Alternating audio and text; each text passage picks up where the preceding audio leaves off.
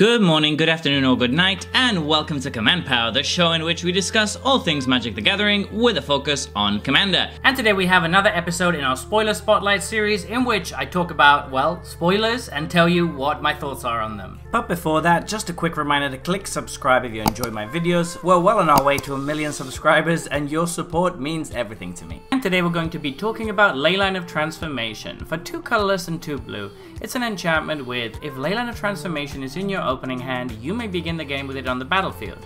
As Leyline of Transformation enters, choose a creature type. Creatures you control are the chosen type in addition to their other types. The same is true for creature spells you control and creature cards you own that aren't on the battlefield. Wow, this is a really cool design for a ley line, and I'm pretty impressed by how well this strikes a balance between power and fun. So we've had some very good ley lines in the past. Part of the problem with the ley lines has always been that they can be a bit feast or famine. So for example, Leyline of Anticipation, which is probably one of the best ley lines in Commander, is incredibly broken if you have it in your opening hand, but it's just okay if you draw it later on in the game. Starting with Leyline of Anticipation in play basically means that you get to play your entire game plan at instant speed. You can play super reactively to anything your opponents are doing because you can just play your stuff whenever you want to. That's a huge advantage, and the games where you have it compared to the games where you don't are completely different and play out in very different ways. So whilst the card is very good, I don't really feel like it's a very good design for a leyline because there's just so much variance there. On another aside, the black leyline has been reprinted again as Leyline of the Void, and I think it's the third or fourth time already that we basically haven't got a new black leyline, but we've got another new one for each color. So I definitely think black is deserving a little bit of love in this aspect. But anyway, back to Leyline of Transformation. This is a very desirable effect that this card has. Turning all the stuff in your deck into a specific creature type is something that a lot of decks are interested in, particularly tribal decks, although those tend to already be running mostly creatures of that type, but also just wacky decks are going to be interested in this too, decks that want to build around something different or unique, or that want to give an extra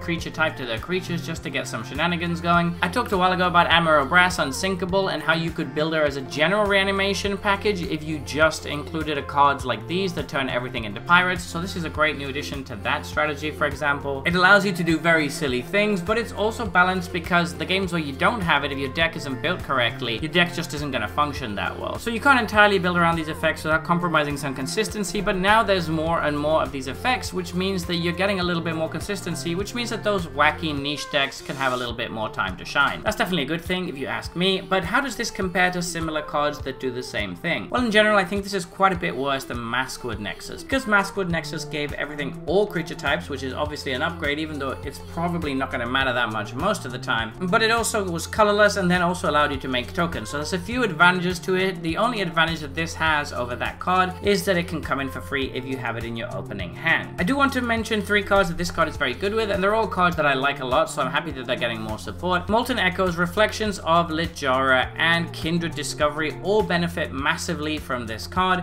because you can basically then chuck them in any deck with normal creatures and you're going to get to double up your creatures and draw a bunch of cards.